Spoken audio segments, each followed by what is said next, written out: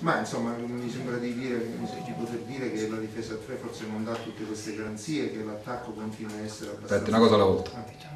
Perché la difesa 3 non dà garanzie? Eh, se lei entra nello specifico poi io vado nello specifico, quindi no, no, perché... Siamo un po', un po' più basso, un po' più basso. Perché ha preso 10 gol, sì, la, sicuramente, sicuramente ha preso 10 gol, però la difesa 3 che si presume sia a 5, non a 3, perché noi abbiamo due esterni che sono praticamente due terzini, non due ali, danno maggiore copertura con di più due mediani di filtro, e quindi è una difesa molto protetta e va quantificata sia nelle gol presi ma anche nelle palle gol subite.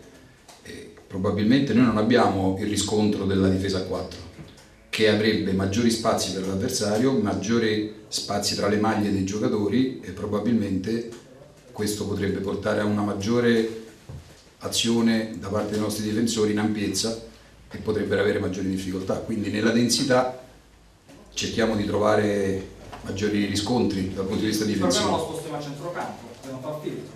Non fa filtro il centrocampo perché abbiamo due mediani.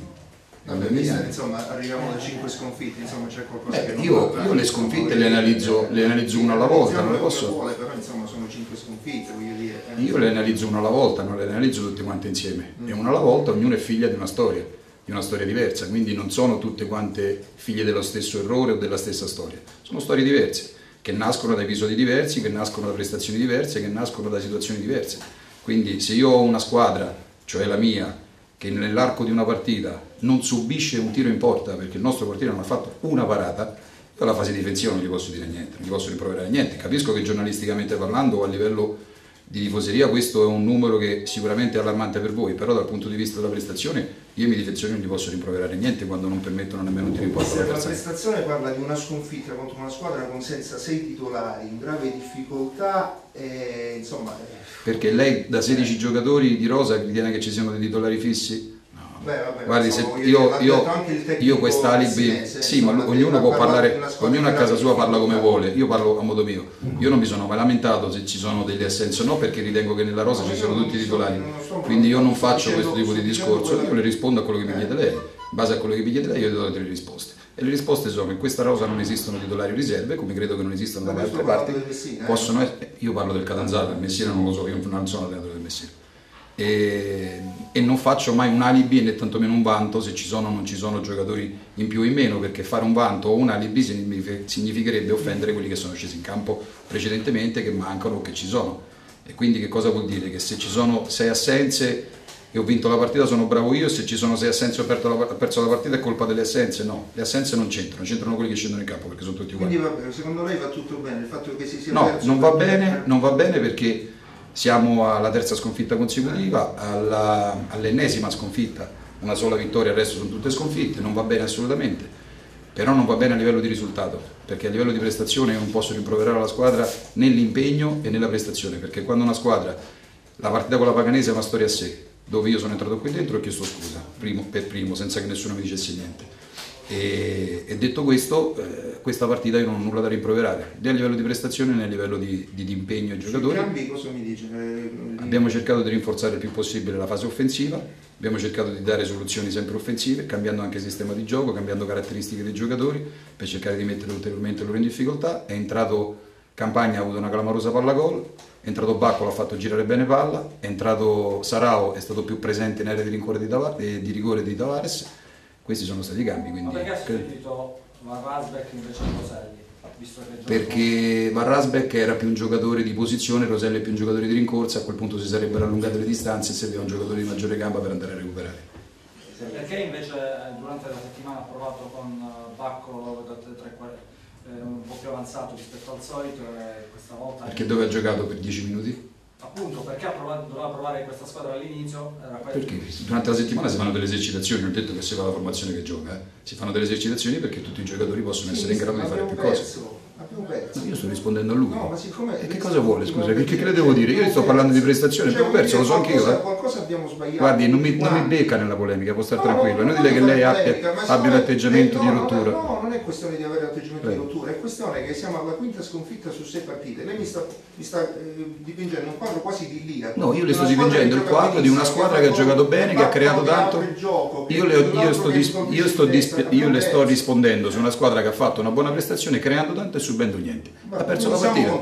La crisi io sono contento della prestazione e dell'impegno, non sono contento del risultato, perché il risultato poi fa sempre la differenza. Ognuno di noi ce la vede a modo suo. Lei, lei, ha la sua opinione, io ho la mia. Lei fa il giornalista, io l'allenatore. Lei ha preso zero al corso di Coverciano, io 110 lode. Questa è la differenza. Però io, però, io, vede, però io giornalista non l'ho mai fatto, e tantomeno la qualifica di giornalista. Quindi lei faccia il suo, io le sto rispondendo educatamente alle sue osservazioni. No, io non credo di essere maleducato. No, no, assolutamente no. Io sto semplicemente rispondendo educatamente. non sto né con tono di polemica, ma con un punto di vista che è quello mio. Che, che... Mi meraviglio, io ribadisco, mi meraviglio non il tono maleducato in no, eh, no, no, quello no, quello no. il tono, diciamo così, contento di una prestazione sì, che, insomma, perché io entro nello spogliatoio, entro nello spogliatoio e trasmetto ottimismo, non posso trasmettere pessimismo.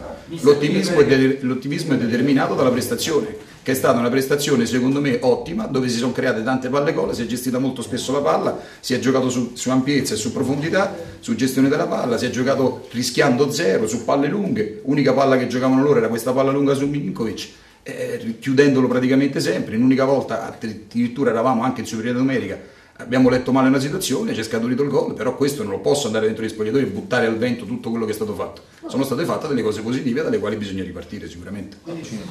Ma è, è un momento sicuramente difficile, questo è fuori discussione ed è giusto che mi presento io come responsabile della squadra, quindi se ci sono delle, delle, situazioni che non vanno ed è giusto che mi assumo io le responsabilità, è un momento difficile, anche se sicuramente la fortuna non ci aiuta in tante cose, probabilmente sono partite che si possono tranquillamente vincere e alla fine invece si perdono. È chiaro che quando si perde in casa due partite di seguito non è facile, il momento sicuramente non è semplice, però come tutte le cose bisogna essere bravi a superarle, quindi nelle difficoltà bisogna lavorare ancora di più a testa bassa per raggiungere risultati sicuramente migliori. Scusi, questa squadra ha perso con due squadre che alla luce insomma, di quello che è successo in campo, anche la, la Paganese che ha perso in casa con il Monopoli, dimostra che ha degli evidenti limiti tecnici. Ma io, io sui limiti tecnici ho qualche dubbio, per quello che riguarda probabilmente il risultato vi devo dare ragione perché quando si perdono due partite con due squadre alla nostra portata sicuramente dà fastidio. Commentare un aspetto tecnico quando crei tantissime palle gol non è facile, questa è la regola del calcio, il gol non ne fai, lo subisci e quindi la squadra perde un, una partita che probabilmente forse per le occasioni create meritava un'altra sorte. I limiti, eh, ripeto, sono limiti dettati dal risultato, poi dopo io non ho visto questi limiti a metà campo perché non ho ancora visto una squadra che ci ha succlassato da un punto di vista tecnico, ma solamente del risultato. Direttore, scusi, non è, se insisti, non è per Prego. sulla prima domanda, non è questo un scaricabarile forse? No, no, no. Sono venuto io, venuto... No, no, no, no, no, no. Cioè, no, no. perché se dobbiamo parlare no, no, no, no, no, no. Io tecnica, tecni, allora, tecnicamente... Volevamo chiedere per esempio al tecnico. Tecnicamente parlo tranquillamente senza tanti problemi, forse è un ruolo che mi si addice anche meglio da un punto di vista tecnico. Da un punto... le, le tre sostituzioni come si spiegano? Ma probabilmente il Miss aveva nelle sue idee di, di, di cambiare le sostituzioni, posso essere un attaccante per un attaccante, un trequartista per un difensore. Non ho visto una, una ha provato a recuperare un, una partita che in quel momento ci vedeva in svantaggio. Tante volte mettere più punte e togliere i difensori si può anche creare un, un affollamento in fase offensiva e probabilmente diventa anche difficile trovare gli spazi giusti. Difficoltà di manovra, poco ma probabilmente il primo tempo non ho visto questa difficoltà di manovra, il primo tempo ho visto soprattutto non realizzare quello che è stato creato. Il secondo tempo forse siamo stati un po' più macchinosi, probabilmente sotto di un gol, non è stato facile produrre delle belle giocate, probabilmente siamo andati in difficoltà e alla fine il risultato non ci ha premiato. Direttore, quanti e quali, quanti e quali errori si imputa lei? Ma io me li prendo sempre tutti gli errori, mi conosci, sai che parlo sempre di prima persona, la faccia ce la metto sempre, possibilmente più nel male che non nel bene, perché nel bene non mi interessa, in questo momento è giusto che quando i risultati non vengono, chi ha creato la squadra, quindi il direttore sono io, non è giusto dare delle colpe a, una, a un tecnico che è arrivato da poco o dei giocatori che onestamente stanno lavorando e stanno sudando la maglia, poi dopo non stanno dando delle soddisfazioni da un punto di vista del risultato quindi è giusto che le responsabilità eh, al 100% me le prendo io.